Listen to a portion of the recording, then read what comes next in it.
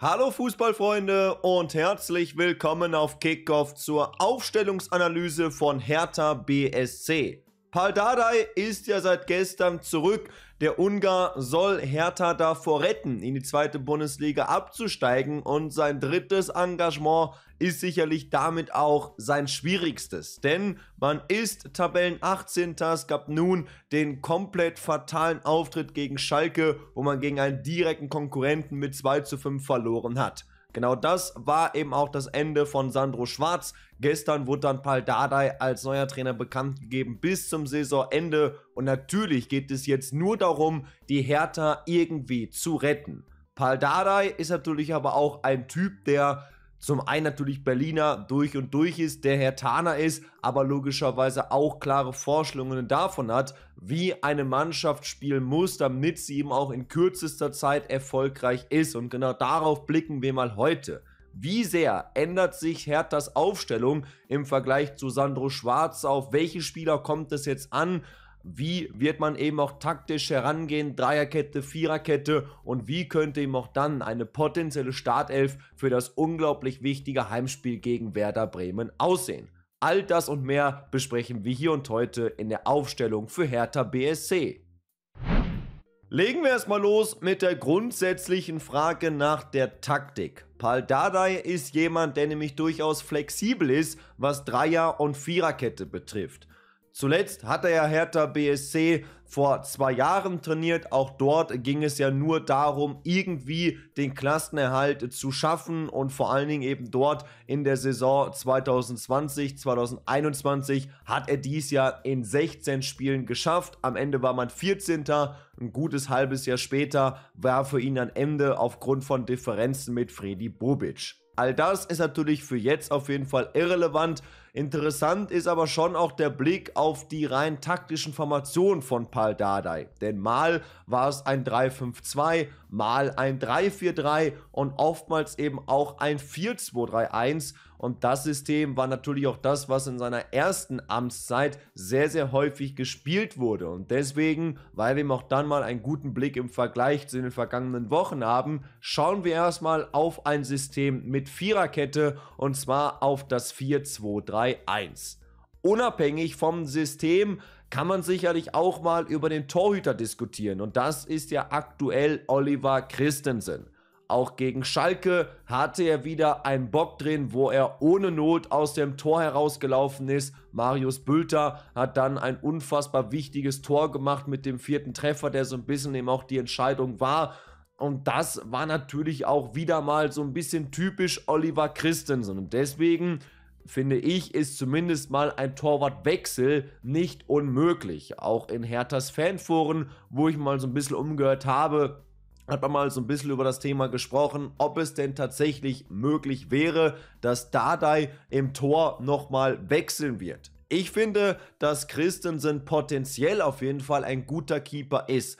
Auch mit seinen 24 Jahren ist er einer, auf den man sicherlich in der kommenden Saison, in den kommenden ein, zwei Jahren auf jeden Fall setzen wird.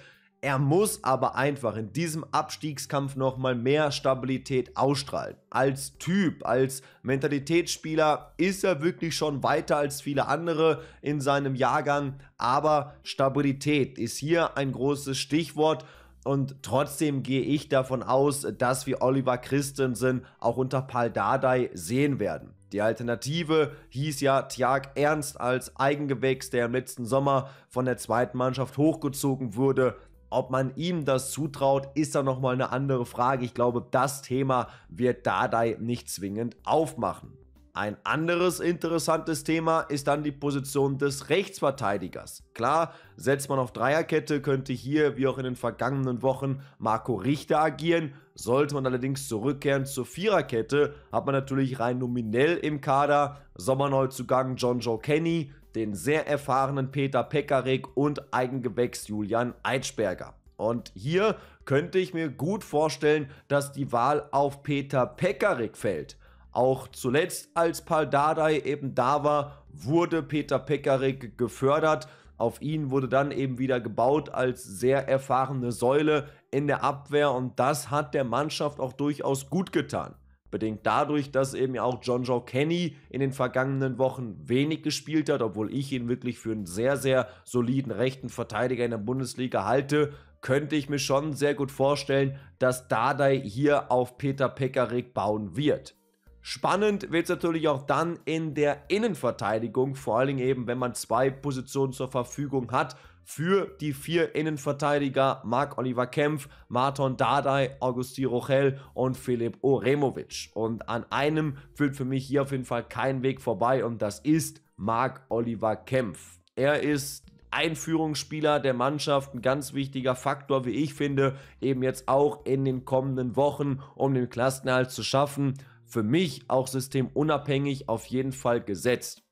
Und daneben ist halt dann so ein bisschen die Frage in der Viererkette, mit wem machst du es? Und hier glaube ich schon, dass Paul Dardai auf seinen Sohn vertrauen wird, auf Marton Dardai. Zum einen, weil er, wie ich finde, großes Potenzial besitzt und noch einer ist, der erst recht auch in der kommenden Saison gefördert werden muss. Klar ist natürlich auch, der 21-Jährige hat jetzt auch einige Böcke drin, ist aber auch wiederum einer, der in Sachen Aufbauspiel sicherlich einige Elemente mitbringt, die auf jeden Fall jetzt in den nächsten Spielen wichtig sein können. Oremovic hatte auch immer wieder Böcke drin, Rochel hat zuletzt eher etwas weniger gespielt, deswegen glaube ich, wäre das beste Abwehrduo für Hertha Dadai und Kempf. Klar, jetzt sagen vielleicht viele, ja sind doch beide Linksfüße, wie soll das funktionieren in der Zweier-Innenverteidigung? Wenn man zwei Rechtsfüße hätte, würde auch gerne darüber diskutieren, das kann man schon so machen. Interessant wird es auch dann wiederum auf der linken Abwehrseite, denn hier sehe ich einen sehr offenen Konkurrenzkampf zwischen Kapitän Marvin Plattenhardt, der zuletzt gesetzt war, und dem gebürtigen Berliner Maximilian Mittelstädt. Plattenhardt hat ja unter Paul Dardai zuvor in den Jahren immer relativ viel gespielt, Mittelstädt allerdings auch. Zuletzt war Plattenhardt aber, wie ich finde, unglaublich schwach. Klar, auch da werden es vielleicht viele sagen, ja, aber er ist ja der Standardschütze, der der gute Flanken schlagen kann. Ja, aber genau da lagen eben jetzt auch die Probleme, dass eben auch genau das nicht mehr gut kam von Plattenhardt und deswegen würde ich hier einen Wechsel vollziehen, auf Mittelstädt setzen, wie gesagt, Dardai hat durchaus auch immer sehr viel von Plattenhardt gehalten und sehr viel auf ihn gebaut.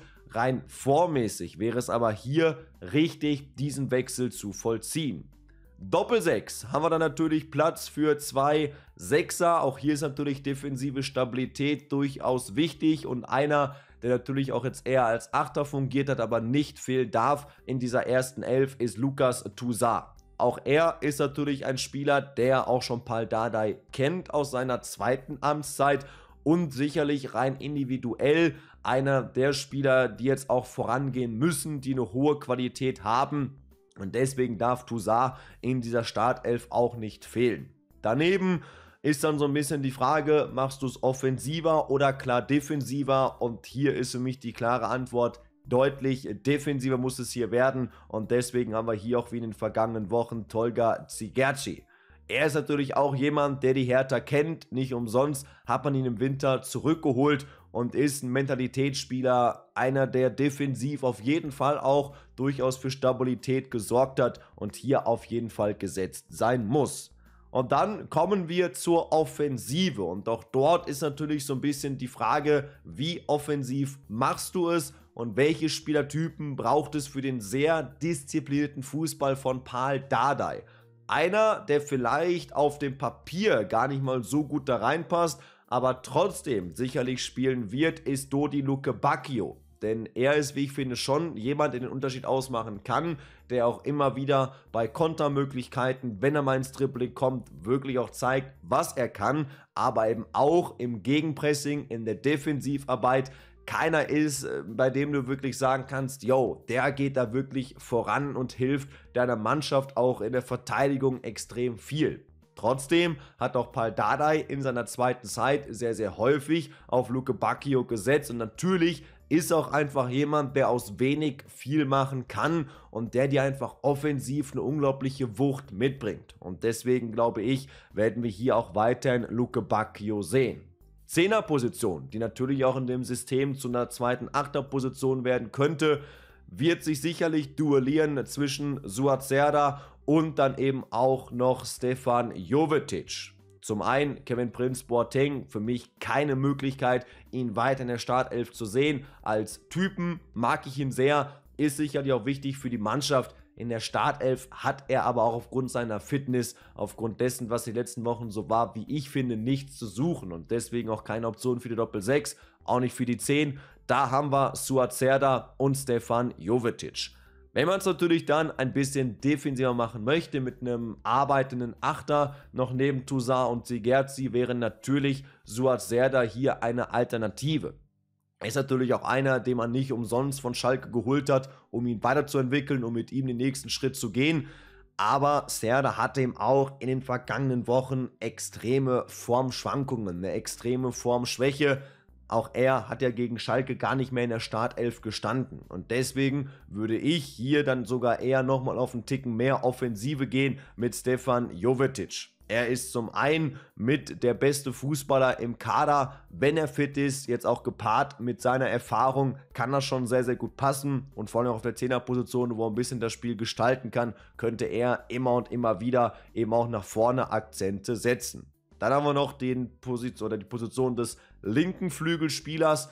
Da ist dann meiner Meinung nach Marco Richter die logische Möglichkeit. Er hat ja in den vergangenen Wochen eher als rechter Schienenspieler fungiert, ist, wie ich finde, auch ein Typ, der gut zum Dardai-Fußball passen kann, der diszipliniert ist, der für die Mannschaft eben auch hart ackert und den müsste man auf jeden Fall hier wiederfinden. Ein Derry Sharehand, wie ich finde, sollte man auch nochmal mehr einsetzen, nochmal mehr reinschmeißen, möglicherweise auch als Joker auf dieser Position und somit wäre das mal meine offensive Dreierreihe. Einer, den ich mir auch nochmal auf der linken Seite vorstellen könnte, bei mir aber im Sturmzentrum landet, ist Jessica Gangkamp. Ich finde, auf ihn muss jetzt auf jeden Fall ganz klar gesetzt werden. Es wäre auch vorstellbar, dass äh, dieser Part Erfahrung nochmal eine größere Rolle einnimmt, wie eben gesehen bei Pekarik oder eben auch bei Florian Niederlechner dass der eben vorne reingeschmissen wird, weil er eben weiß, wie die Bundesliga funktioniert. Aber auch hier könnte eben ein Gangkampf durchaus gut reinpassen, wenn man wirklich darauf baut, defensiv erstmal sicher zu, stellen, zu stehen, eher erstmal auf ein 0-0 zu gehen und dann mal gucken, was nach vorne geht und eben dann mit den Flügelspielern Luke Bacchio und Richter, mit dem Kreativspieler Jovetic genau so ein wie ein Gangkampf einzusetzen. Ich glaube, das könnte schon eine gute Idee sein und deswegen wäre der deutsche U21-Nationalspieler meine Variante hier im Sturmzentrum. Und somit wäre das mal meine präferierte erste Elf für Hertha unter Paul Dardai im 4-2-3-1-System. Und ich glaube, da hätten wir zumindest schon sehr viel von dem untergebracht, was es einfach jetzt braucht und was eben auch sehr, sehr gut für den Paul Dardai Fußball zur Verfügung steht. Wie vorhin aber auch schon mal angerissen, ist natürlich auch ein System mit Dreierkette möglich mit möglicherweise nochmal mehr defensiver Stabilität und das habe ich auch nochmal rechts ein bisschen aufgezeichnet. Hier hätten wir weiterhin Christensen im Tor, in der Dreierkette, dann sicherlich auf jeden Fall Kempf und Dardai, daneben Uremovic oder Rochel. Dann als Schienenspieler könnte ich mir hier sogar Marco Richter erneut sehr gut vorstellen. Dann würde Pekarik wieder rausrutschen und auf der linken Seite Plattenhardt. Wenn man dann vielleicht hier sogar wirklich auf unfassbar viel defensive Stabilität baut, Mittelstädt sogar nochmal eins nach vorne zieht, Doppel 6, bliebe bei Chigechi und Toussaint und dann eben vor allen Dingen auf die individuelle Qualität von einem Luke Bacchio setzt, plus die Keilschotzigkeit von einem Gangkampf. Natürlich auch hier könnte man Mittelstädt rausnehmen und vielleicht sogar auf ein 3-5-2 bauen, was man in den vergangenen Wochen häufiger mal gesehen hat. Aber ich könnte mir auch grundsätzlich vorstellen, dass man links gehen wird mit Plattenhardt und Mittelstädt. Aber ich finde Variante 1, die wir vorhin ausführlich besprochen haben, würde aktuell wirklich sehr gut passen. Variante 2 habe ich jetzt mal ganz bewusst sehr, sehr defensiv aufgestellt. Noch defensiver wäre es natürlich mit Pekarik statt Richter. Und da wäre natürlich auch noch eine Möglichkeit da, das so zu machen, je nachdem eben auch gegen wen man so spielt. Denn jetzt ist ja erstmal das unfassbar wichtige Heimspiel gegen Werder Bremen. Auch Werder hatte die letzten Wochen so seine Probleme gehabt. Da muss eigentlich schon gewonnen werden, um wirklich auch den Glauben wieder zu haben, die Klasse halten zu können. Denn natürlich ist man auch nur zwei Punkte weg von Schalke und Stuttgart, sprich von Platz 17 und 16. Und auch wenn vielleicht nach dem Wochenende die beiden nicht so viele Punkte holen und man selbst bei einer Pleite gegen Bremen noch dran wäre, wäre natürlich ein Sieg gegen Werder so unfassbar viel wert, um immer an den beiden dran zu bleiben, vielleicht sogar zu überholen, aber auch erst recht das Gefühl zu haben, ja, mit Paul Dardai als Trainer werden wir das in den kommenden Wochen schaffen können. Auswärts geht es ja dann noch gegen Bayern, Köln und Wolfsburg. Das ist auf jeden Fall ein ordentlich straffes Programm, wo man vielleicht weniger Punkte holen würde. Die Heimspiele mit den direkten Duellen gegen Stuttgart und Bochum, die werden zum Schlüssel. Da kannst du auf jeden Fall in Sachen Abstiegskampf viel tun. Generell eben dann die drei Heimspiele gegen Werder, Bochum, Stuttgart. Das sind wirklich die, wo es drauf ankommt. Da musst du da sein und dann hat Hertha, wie ich finde, auch eine wirklich reelle Chance, doch noch die Klasse zu halten. Denn Pal Dardai ist, wie ich finde, die richtige Wahl als Schwarznachfolger, eben auch erst recht für jetzt eben diese sechs Spiele plus vielleicht noch zwei Relegationsmatches. Trotzdem wird es eine unfassbar schwere Mission und ich bin sehr gespannt, was ihr dazu sagt. Was denkt ihr, wird Hertha mit Dardai die Klasse halten können? Wie würdet ihr die Mannschaft aufstellen? Was ist realistisch? Welche erste Elf werden wir gegen Werder Bremen sehen? Schreibt all das mal gerne in die Kommentare und dann sehen wir uns im nächsten Video wieder. Macht es gut, ciao und bleibt am Ball.